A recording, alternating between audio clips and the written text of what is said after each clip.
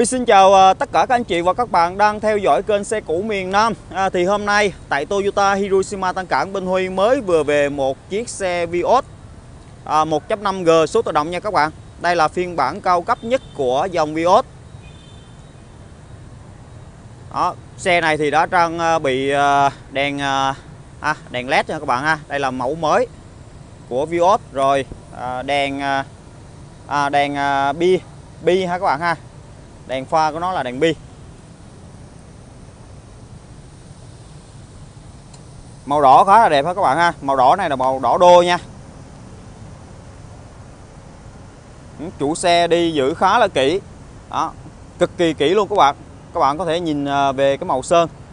Bên mình à, chưa có à, vệ sinh chưa có làm khâu maru nha. Nhưng mà chất lượng của xe thì còn khá là chuẩn. Đó, xe thì có trang bị à, đây trang bị à, à, đây chén cửa mà cầu rơm ha các bạn ha. Ừ. xe này thì chủ yếu là bên Huy sẽ về à, tiến hành à, vệ sinh đánh bóng lại xe thôi. Nó bỏ xe các bạn xem mà đu lớp nha. Còn khá là dày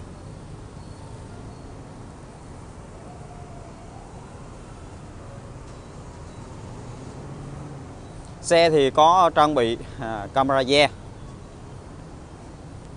rồi à, cảm biến da phía sau nha các bạn ha. Phiên bản G.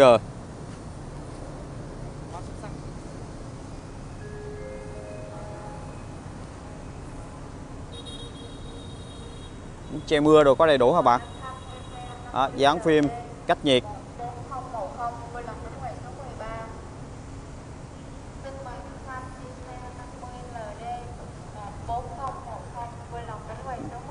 Khá là đẹp ha các bạn ha.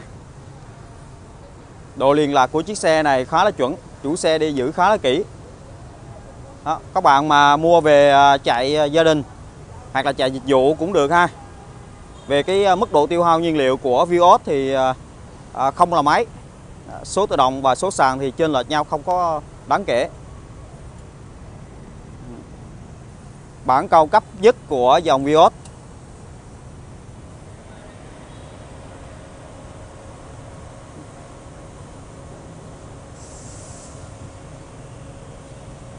Rồi mình à, mời các bạn xem về phần nội thất bên trong của xe luôn. Nội thất bên trong là màu kem nha các bạn. Đó, Màu kem. À, Này da là da đục lỗ theo xe luôn nha. Đó, Da thì à, đối với cái dòng Vios và bản G này á, thì da cực kỳ là tốt theo xe luôn. Do nên là mình chỉ cần vệ sinh lại là như mới thôi. Đó, Phía sau của dòng Vios thì khá là rộng đây, có các cái từ đầu ha các bạn ha? Ừ, ba từ đầu. Ba vị trí ngồi. Này tựa tay ha. Nếu như mà mình đi hai người á, thì mình có thể là gập tựa tay xuống. Rồi uh, có cái khay uh, để ly. Khá là tiện lợi. Nội thất uh, chủ xe giữ cũng khá là kỹ nha các bạn ha. Đó trần này rất là sạch. Hệ thống điều hòa của uh, uh, Vios mà bản ờ, uh, 1.5G này á là điều hòa tự động nha các bạn. Điều hòa khá là lạnh. Đó.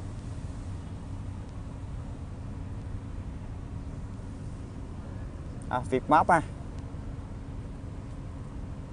Có camera hành trình tích hợp camera hành trình luôn.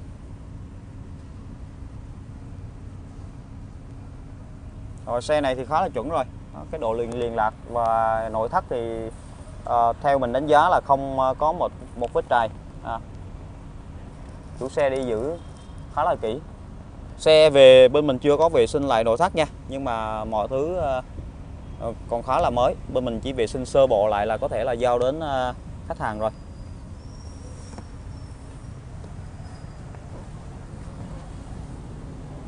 Rồi Huy xin kết thúc video tại đây. Cảm ơn các bạn đã dành thời gian theo dõi video.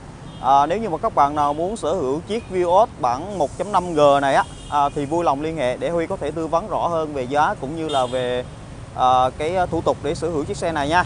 Xin chào và hẹn gặp lại ở video tiếp theo ạ. À.